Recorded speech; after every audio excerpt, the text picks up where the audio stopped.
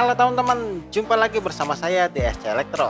Di video kali ini saya akan membuat sebuah alat sederhana yang masih bisa kita manfaatkan di sekitaran mesin TV bekas seperti ini.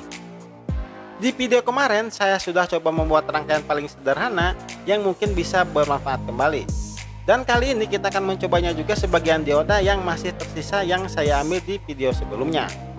Di sini terlihat ada dioda yang masih menempel pada rangkaian PCB ini ya teman-teman. Oke, seperti apa alat dan pemanfaatannya? Langsung saja akan kita cabut terlebih dahulu. Cara melepaskannya seperti biasa kita siapkan solder dan sedotan timah.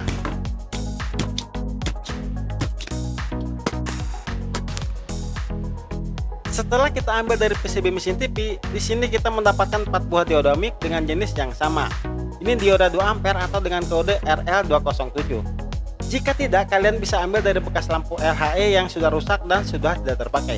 Karena di situ banyak sekali dioda seperti ini. Langkah pertama kita akan gabungkan kedua dioda ini mengarah berlawanan atau kaki anoda ketemu kaki anoda ya. Seperti ini. Kita akan kasih timah terlebih dahulu. Selanjutnya kita akan pasang dioda yang ketiga. Kaki katoda ketemu kaki anoda ya. Kemudian dioda yang terakhir atau dioda yang keempat sama pemasangannya dengan dioda yang ketiga. Seperti ini ya teman-teman. Kemudian kita membutuhkan dua buah lampu LED dengan ukuran 5 mili 3 volt. LED seperti ini ada dua kaki yang kotak kecil adalah positif dan kotak besar adalah negatifnya. Atau jika beli lampu LED yang baru, biasanya kaki positif lebih panjang dari kaki yang negatif. Seperti ini. Kita pasang LED yang pertama, kaki positif itu terhubung dengan dioda bagian katoda.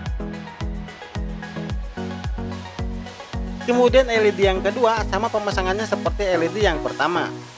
Jadi kaki positif LED ketemu kaki katoda ya. Dan untuk negatifnya ini ketemu negatif LED yang pertama. Barang selanjutnya kita membutuhkan sebuah tahanan atau resistor dengan kode warna gelang oranye, oranye, coklat, emas. Jika kita hitung resistor ini mempunyai ukuran 330 ohm. Langsung saja kita pasang dari ujung dioda dengan ujung lampu LED. Oke, seperti ini. Akan saya kasih timah terlebih dahulu.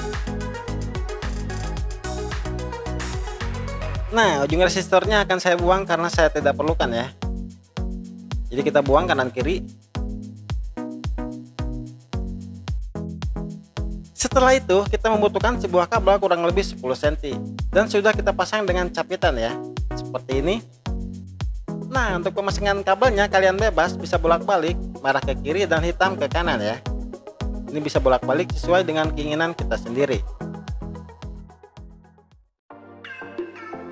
Oke, setelah proses pembuatan tadi dan hasilnya kurang lebih seperti ini.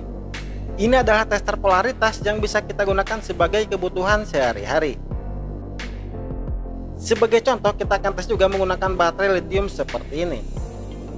Jadi kita akan cari terlebih dahulu lampu LED mana yang sebagai positif dan lampu LED mana sebagai yang negatif. Sini kita akan sesuaikan merah ke merah dan hitam ke warna hitam ya. Coba kalian perhatikan LED mana yang akan menyala. Bisa terlihat di sini LED yang berwarna biru bisa kita tandai lampu LED yang menyala biru adalah positifnya. Karena LED yang menyala biru itu adalah kabel yang berwarna merah. Akan saya tukar seperti ini, merah ke hitam, hitam ke merah. Di sini terlihat yang menyala itu warna merah ya. Bisa kita pastikan lampu LED yang menyala merah itu adalah kabel yang negatif atau kita salah memasang polaritas. Sebagai contoh, kita akan tes menggunakan charger HP dan USB seperti ini, di mana kita terkadang suka bingung mana positif dan mana negatifnya. Jadi mungkin dengan alat seperti ini kita bisa mengetahui polaritas secara mudah. Oke, akan kita tes langsung saja akan kita colokkan ke listrik 220 volt. Apakah alat yang dibuat dalam tutorial kali ini berhasil atau tidak? Dan akan kita tes. Kita akan matikan terlebih dahulu untuk lampu utamanya agar lebih jelas di depan kamera. Seperti ini. Di sini kita akan tes terlebih dahulu untuk kabel yang warna merah. Kita letakkan di bagian bawah, bawah USB. Dan yang hitam kita letakkan di bagian atas. Di sini yang menyala itu LED yang berwarna merah. Nah, artinya kita salah memasang polaritas ya teman-teman.